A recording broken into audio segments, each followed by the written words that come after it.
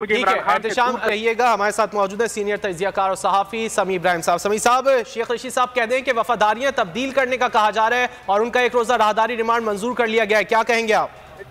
देखें बात यह है कि शेख साहब ने जो भी आज बात कही है उसने बताया है कि किस तरीके से क्वेश्चन मेजर्स लिए जा रहे हैं। अब जो भी जिसको भी उठाया जा रहा है उसको ये कहा जा रहा है कि आप इमरान खान का साथ छोड़ दें। और पीटीआई के अंदर से एक नई जमात बनाने की कोशिश की जा रही है, जो किंग्स पार्टी होगी।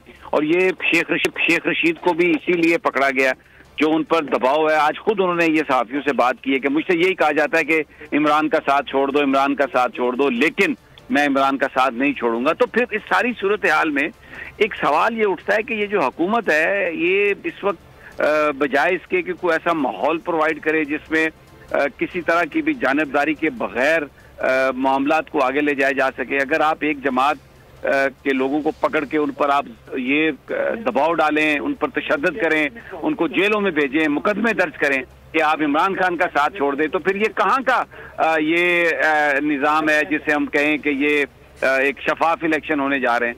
तो ये शेख साहब की ये जो गुफ्तु है, ये बड़ी अलार्मिंग है और इस पे चीफ जस्टिस ऑफ़ पाकिस्तान को नोटिस लेना चाहिए कि आप सियासतदानों को पकड़ के उनसे कहते हैं कि आप इमरान खान का साथ छोड़ें। सहाफियों को पकड़ के आप कहते हैं कि आप हक सच की बात करना बंद करें। तो ये तो ना सहाफी रुकेंगे ना इसी तरह आप कभी सियासी वर्कर्स को दबा सकते हैं। माजी में कभी ये चीज़ कामयाब नहीं हुई। और तिहत्तर साल उम्र है शेख रशीद की। उनके साथ ये इस तरह करना उनको घुमाना फिराना कोशिश करना कि सिंध ले जाएँ अब ये कि उनको मरी में ले जाया जाए। तो वहाँ पर भी ठंड है रात को क्या करेंगे उनको?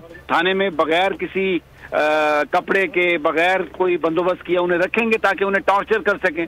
वेरी सैड बहुत ही अफसोसनाक है लेकिन शेख रशीद एक आज भी जो अदालत में हमने देखा एक चटान की माने डटे हुए थे और उन्होंने कहा कि बिल्कुल किसी तरह से भी मुझे दबाव में नहीं लाया जा सकता और मैं इमरान खान का साथ नहीं छोड़ूँगा और ये कौम भी इमरान खान का साथ नहीं छोड़ेगी। जी। बहुत शुक्रिया समी इब्राहिम साहब। आपने वक्त निकाला हमसे गुफ्तु की और राहदारी रिमांड मंजाद अवामी मुस्लिम लीग के सरबरा शेख